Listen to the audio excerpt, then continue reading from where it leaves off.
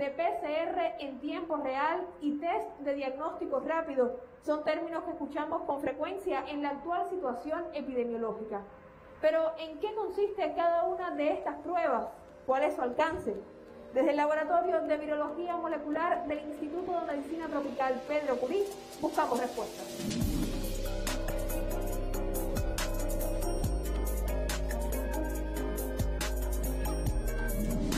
Desde el inicio del brote de SARS-CoV-2, la prueba para diagnosticar la enfermedad COVID-19 es la de PCR en tiempo real. Esas siglas en inglés corresponden a un proceso llamado reacción en cadena de la polimerasa. ¿De qué se trata? Es uno de los avances científicos más importantes de la biología molecular, tanto que los bioquímicos que desarrollaron esa técnica merecieron el premio Nobel.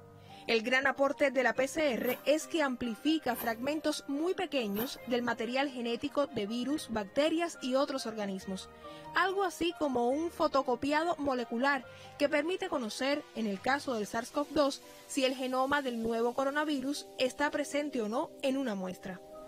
Para esto se utiliza, entre, entre otros reactivos, la enzima polimerasa, que es capaz de eh, participar en esta multiplicación viral permitir la producción de millones de copias del virus y la detección mediante otro sistema. Esto se puede leer en tiempo real, a través de un programa computarizado, ver exponencialmente cómo va aumentando la cantidad de copias de ese genoma viral que está contenido en la muestra. Para realizar este examen, los especialistas extraen una muestra del fondo de la nariz, la boca o la garganta del paciente y la analizan en el laboratorio. La prueba sobresale por su elevada precisión, alta sensibilidad y porque detecta el virus desde las primeras fases de la infección respiratoria.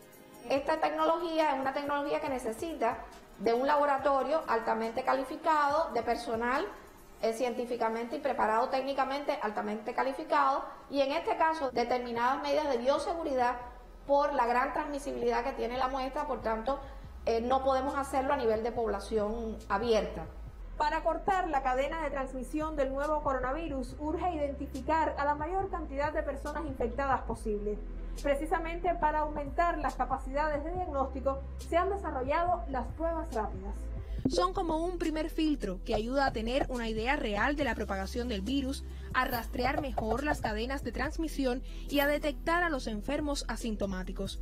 Existen varios tipos de test rápidos. En el caso de Cuba se utilizan las pruebas de anticuerpos, que a partir de una pequeña muestra de sangre indican si una persona ha generado respuesta inmune, es decir, si su organismo se ha defendido ante la presencia del nuevo coronavirus. Son técnicas que detectan de forma indirecta la presencia del virus en, la, en, el organismo humano porque son técnicas que detectan los anticuerpos que produce el organismo contra los virus. Estos anticuerpos comienzan a aumentar a partir de entre el quinto y el séptimo día de aparecido los primeros síntomas de la enfermedad. Si un individuo da negativo al test, puede ser que esté en un periodo de incubación previo al quinto día del comienzo de los síntomas, donde todavía no se ha producido la respuesta de defensa del organismo ante la infección, o puede realmente que el individuo sea negativo. Por tanto, no nos podemos confiar. En resumen, si un test rápido de anticuerpos es positivo, ese resultado se confirma mediante la prueba de PCR. Mientras, si el test rápido de anticuerpos de un paciente sospechoso es negativo, la persona permanece aislada y en observación y se le repite un examen, que puede ser tanto la prueba rápida como la de PCR. Los análisis rigurosos que se hacen en laboratorios como este del IPK son las únicas vías seguras para detectar al nuevo coronavirus. Las supuestas recomendaciones de diagnóstico que circulan por WhatsApp y otras redes sociales son falsas. Por ejemplo, un mensaje que sugiere inhalar profundamente y sostener la respiración durante más de 10 segundos. Según esta cadena, si la persona logra hacerlo sin toser o sofocarse, pues está libre del SARS-CoV-2.